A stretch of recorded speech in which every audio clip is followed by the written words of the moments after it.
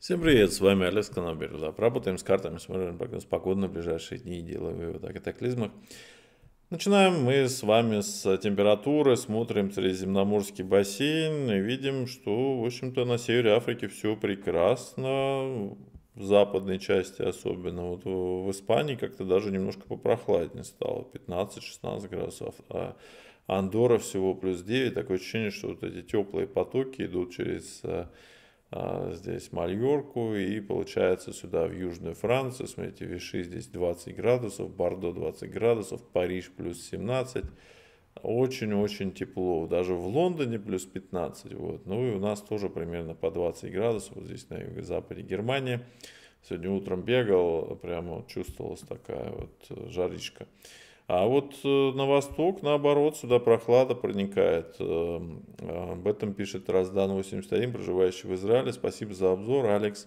У нас похолодало, днем плюс 26, плюс 27 градусов, а ночью 16-17. А, заметно похолодало. Утром ожидаем дожди и ветер холодный, ночью уже э, в 3 часа ночи холодно. Да, мы видим, что здесь э, северное такое влияние, да, там э, в Сирии, по-моему, там мощные дожди с какими-то с потопами прошли. Вот, Виталий Висталюк пишет, в Анталии, на юге Турции, а, прошел торнадо. Вот, спасибо большое за эту информацию. Ну, видно, что даже сюда прохлада вдавливает и Саудовскую Аравию. То есть она подогревает только около Персидского залива, потому что с Ирака, со стороны Ирана здесь тоже идет э, прохлада, да, и в основном это идет со Средней Азии, вот, где идет вторжение, с Урала, вот сюда вот идет в сторону бывшего Аральского моря. Так бы раньше бы Аральское море там защитило своим теплом, а теперь этого щита нет, а теперь спокойно, смотрите, сюда прохлада скоро будет доходить сюда в Аравийское море практически, и даже Индия будет из-за этого подмерзать. А, я думаю, что это мы еще все можем увидеть. А с другой стороны, вот у нас идет такой вот вынос очень теплого воздуха сюда в сторону Скандинавии, в сторону Санкт-Петербурга, где плюс 8 у нас наблюдается, мне кажется, в некоторых районах и выше наблюдается. Вот, э, и все это идет э, еще севернее сюда в сторону Архангельска. Вот, Муфат 100 э, пишет, ноябрь в Архангельске пошел по атлантическому сценарию. Температура плюс 3, временами небольшой дождь. Месяц назад был прогноз появления льда на реках в середине ноября. На две недели позднее нормы. Разумеется, это ошибка, так как по прогнозу дней 10 температура и днем, и ночью будет от 0 до плюс 2. А вы знали, что регулярные наблюдения за погодой в нашем городе ведутся более 200 лет, а за рекой Двиной 300 лет? Нет, я не знал, но я предполагаю, что из ваших же краев э, Михаил Ломоносов, э, э, соответственно, у вас, наверное, талантливые люди там вырастают, и, в общем-то, судя по всему, мы с вами наблюдаем за вашим климатом пару лет, и, в общем-то, он очень-очень прекрасный в целом-то. Э, такой северный, умеренный, комфортный климат. А, так, э, вот у нас Егор пишет, э, Ленинградская область, погода хорошая, солнца только нет вовсе. Небо затянуто, но практически без осадков. Наверное, так надо. А при ясной погоде был бы дубак, 100%. Ритуал призыва юго-западных ветров, ветров вновь сработал. Э, циклоны и антициклоны расположились как надо. Да, именно так. И у вас вот центр антициклона чуть севернее Санкт-Петербурга располагается, э, вот, большей части в Карелии. Э, ну и, соответственно, к вам вытягивает аж из Африки вот этот вот теплый поток. Ну и тут, конечно, надо упомянуть антициклон. А здесь вот Вадим Двоеглазов проживает в Измаиле и все уже не надеется на осадки в этом году. Ну, как говорится, эм, потенциал аккумулируется, и поэтому, когда осадки придут, они там прольются очень-очень интенсивно, а, судя по всему. А вот, но мы посмотрим, как это будет происходить. А вот э, в Украину интересная ситуация. Здесь тоже с запада заходит тепло. Мы видим Львов плюс 13, Киев плюс 11. А, ну, здесь Гомель, Беларусь, плюс 10, да, получается. А вот Харьков всего плюс 6, Кривой Рог плюс 8. То есть получается такая интересная ситуация, туда даже, даже южный город, в нем холоднее, а, чем в северных городах. Вот такие вот э, интересные моменты. Юзер-юзер пишет э, из Харькова как раз, очень скоро уже наступят морозы. А в Украине большие проблемы с электроэнергией. Часто пропадает свет, но не так часто, как, к примеру, в Киеве. А там люди могут сидеть по 8-10 часов без света. Вы интересные факты сообщаете. То есть это как бы, ну, здесь в Европе это вообще никак не обсуждается. И если будет хуже, то украинской столице грозит эвакуация людей. Очень дико представлять, когда зимой на улице минус 20, а в доме холод, без света, ни тепла, ни воды. Ну, вы знаете, э, что сказать, такие времена были, допустим, сто лет, чуть больше ста лет назад э, была гражданская война, и примерно такие же вот были самодельные печки ставили, ну, сейчас есть спальники такие альпинистские, допустим, можно а, посмотреть, э, либо каких-то там еще способов выживальщиков, э, то есть э, надо подготовиться. А касательно эвакуации, в общем-то, как говорится, когда ружье висит на стене, оно обязательно стрельнет, да, вот э, это из той же самой оперы.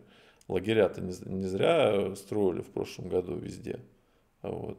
Европу, кстати, вот спасает, почему сейчас такие гневные протесты, там всякие вот с остановкой машин, там с какими-то, если вы видели, вообще просто дичь какая-то приходит, какие-то э, молодежь приходит в обычный супермаркет и начинает крушить эти э, молочные какие-то продукты, что-то там выливать из бутылок, там по полу все это размазывать, там типа вот мы активисты, и никто никак не реагирует, то есть типа все нормально, там люди проходят мимо ну, активисты, активисты, вот, э, понимаете?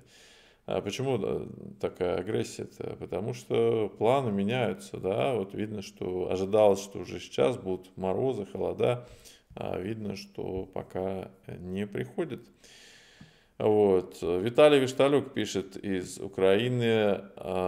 Спасибо, весь день было пасмурно, ясно стало на закате.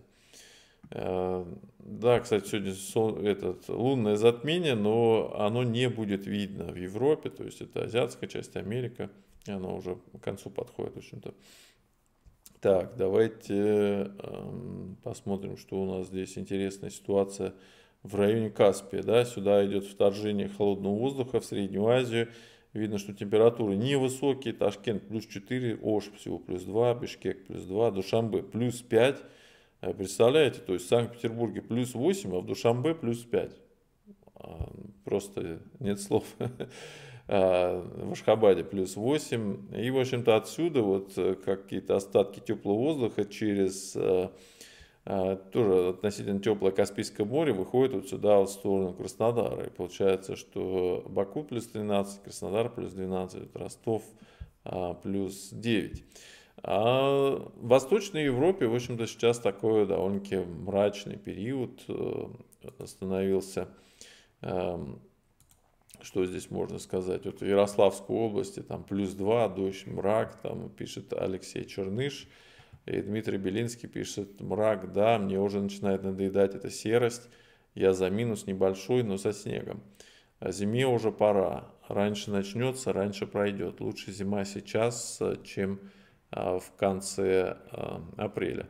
Ну, сейчас мы видим, что пока что идет потепление, вот, но за ней, да, за ней пойдет похолодание, возможно, придет э, как раз э, и зима. А тут как тут, как говорится, да. А, давайте посмотрим заголовки, что пишут э, газет. В центр Европейской России вернется октябрь, северная столица идет на теплый рекорд, кстати, вот интересно, да, то есть а, могут даже какие-то тепловые рекорды побиться. А в европейскую Россию вернулось аномальное тепло, тоже пишут. И а, погода недели последнее тепло. Вот такие вот ожидаются новости. Ну что, переходим в азиатскую часть, смотрим, ну мы уже частично перешли, смотрим север Казахстана, здесь минус 2, так вот, в восточной части чуть теплее, в Павлодаре плюс 1. И вот сюда в сторону Алтая выносится здесь Ангудая минус 1, Барнаул 0, Новосибирск 0, Томск 0. А Красноярск уже минус 4. Потихонечку видно прогрессия, что уходим в минус. Лесосибирск минус 5, Туруханск минус 4. В Иркутске минус 4 наблюдается. Эм, вот Матвей Кузнецов э, пишет, э, а у нас за ночь э, и утро все завалилось снегом. Наконец-то в Прибайкале пришли снегопады, и впереди тоже снег. Ну, поздравляю вас, да, теперь у вас веселая погода будет, как бы, когда все становится таким беленьким, повеселее. Главное, что вот этой вот серости и черноты нет, да, поменьше ее. Вот Алексей Покровский проживает в Иркутске, пишет тоже интересное сообщение. Алекс, спасибо, у меня кот тоже любит общаться. И это происходит именно когда идет ваш обзор. О, интересно, у нас коты, оказывается, общаются. Ну, у меня кошка. А, так что слушатели прибавляются. Причем кот слушает вас очень внимательно. Иногда что-то комментирует на своем языке. У нас на завтра обещают снежок, а к концу недели заметное похолодание, что очень правильно. Сначала землю прикроет снег, а потом морозец, а не наоборот. А негоже земле не прикрытой в зиму уходить. Ну, все верно, да, все в соответствии а, с нормальными процессами.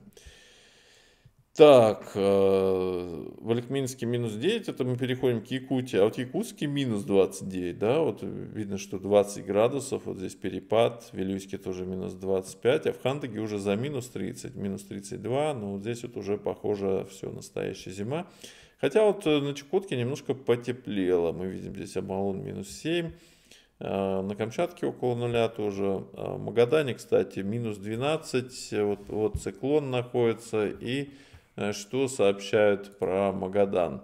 А, про Магадан сообщают, что сильные осадки в виде снега обрушились в минувшие сутки.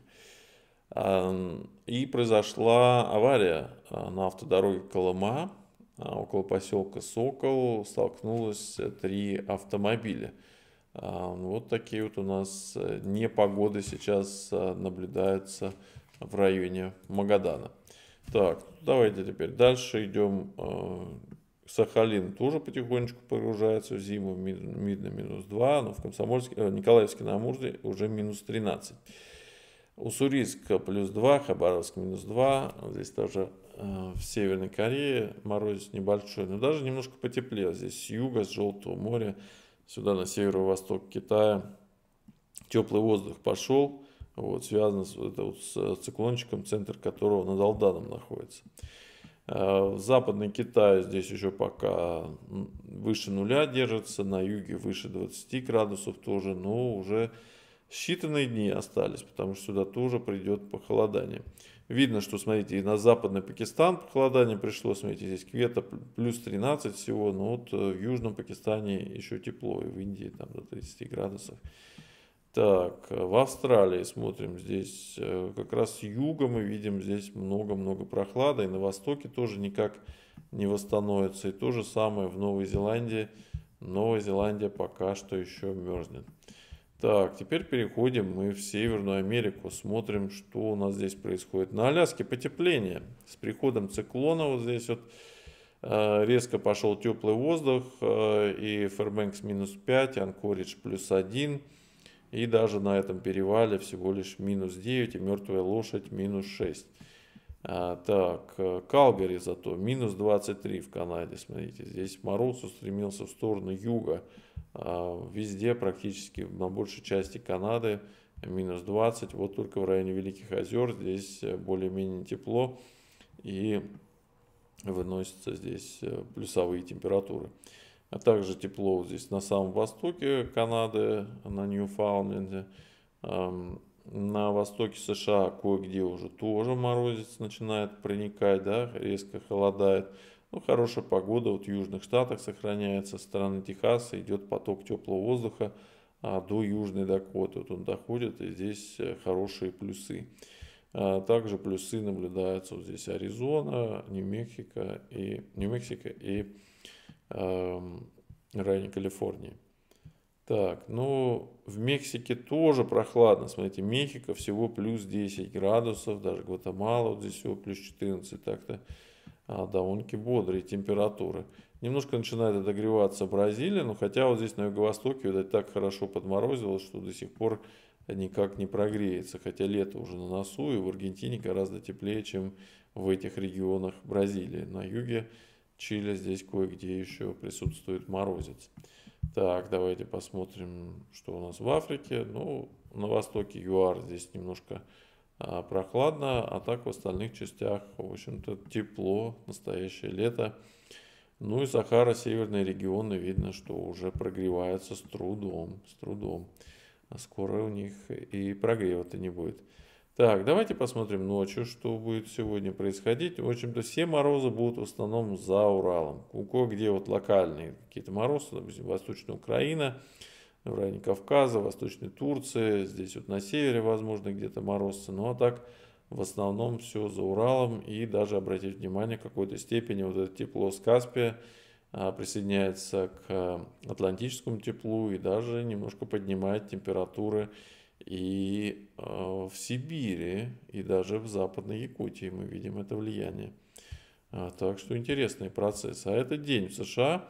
Здесь к Дакотам выходит теплый воздух и на юг Канады, а чуть западнее здесь опускается холодок. Так что над, Дакот, над Дакотами возможны тоже а, какие-то атмосферные явления неприятные. Ну и ночь э, в США будет вот здесь вот перепады резкие, да, в северных Дакотах, в районе здесь большие перепады температур. Вот. Но в Техасе вот хорошо, сюда будет заходить э, теплый и прекрасный воздух. И завтра день тоже будет очень теплым, видим, что вся Европа будет наслаждаться э, теплом. Вот. И тепло даже пойдет сюда, вот в азиатскую часть. То есть будет продолжаться вот этот поток тепла. Ну что, смотрим теперь, это будет у нас 17 э, э, ноября. Здесь мы видим интересный процесс, да, то есть, несмотря на то, что как бы вся азиатская часть захвачена морозом, но здесь мы четко видим оттепель, который вот проходит сюда через Казахстан, вот сюда вот идет в сторону, опять же, Якутии, Восточной Сибири. То есть морозец будет такой легкий, суровых морозов-то не будет. Они сдвинутся вот сюда суровые морозы, антициклон в сторону Охотского моря. А в Европе будет тепло в большей части, ну, за исключением сюда вот, кстати, антициклон станет над Поволжьем. Поэтому немножко прохладно будет Поволжье, вот здесь вот э, центральная часть э, европейской части России, да, там э, центральные регионы, Восточная Украина, вот здесь вот будет так прохладно. И обратите внимание, насколько будет холоднее. Здесь какой-то тройной антициклон над скалистыми горами в США будет очень холодно. Практически вся территория США, за исключением Флориды, а, будет подвергаться вот этому арктическому вторжению. Ну, э, необычное развитие ситуации. Давайте посмотрим с вами, а, где какие сейчас катаклизмы. Вот здесь у нас э, в Атлантическом океане а, появился шторм по-моему, Нельсон зовут. А, и он вроде бы как угрожает Багамским островам и перерастет в ураган, угрожает а, Багамским островам и Флориде.